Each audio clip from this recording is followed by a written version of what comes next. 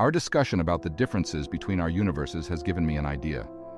If you can somehow connect to the Force even now, it appears that the way to return your crew to your universe is through the Force. An interesting theory, Commander. But how would you propose we harness the Force to open up the doorway? Even the wisest masters of the Force were not able to fully comprehend certain aspects of it, let alone something as unfamiliar as interdimensional travel. Normally, being out of your native universe would have devastating effects on your biology and molecular structure. Medical scans do not indicate such symptoms.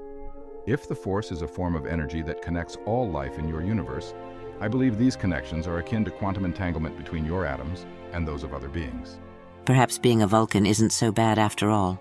And as much machinery and tools there are here, I am glad you haven't dwindled in your intellectual and physical capacity that my student Revan so eagerly embraced using droids to fulfill his galactic ambitions are beyond me. One thing I do not understand, Kreia, is your goal to destroy the Force. Why do you believe that the destruction of this life force would do anything for the galaxy? Ah, you have uncovered my hidden thoughts.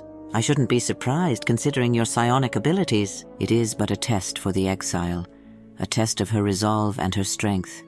It will be a fitting conclusion for her journey and a final lesson for her that one can live without the Force. Is this one of your human pranks? If it is, that is the most elaborate one I've heard of. I would say an illogical and skewed waste of life and resources. If your intentions were to teach her, there must be a better curriculum. Oh, but you do not see the potential that she has. Like I do, Spock. She is more than just a student. She's one whom I can depend on to carry out my teachings. She will bring the currents of the Force to where it must flow. I'm sure she's an excellent and capable individual with her record as a war veteran. But the good of the many outweighs the good of the one. It's an axiom of the multiverse that cannot be denied. It is illogical to turn the whole galaxy into turmoil to teach her one simple lesson. Your logic is sound as ever, but you do not know the lengths a teacher would go to unleash her students' full potential.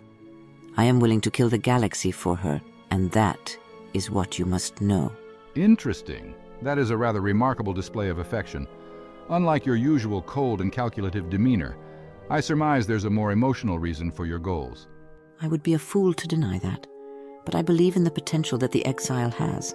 Perhaps the same can be said about you, Spock. Perhaps you will follow in your father's footsteps for the betterment of your galaxy. I appreciate the confidence you have in me, but I still find your choices and plans quite eccentric. Indeed as I am sure you would experience a great deal which would challenge your own philosophy. If not, you would fail to live your full potential. A most kind compliment, Kreia. Though I lack the gift of foresight, I can say one thing as customary live long and prosper. And to you, Spock, may the Force be with you.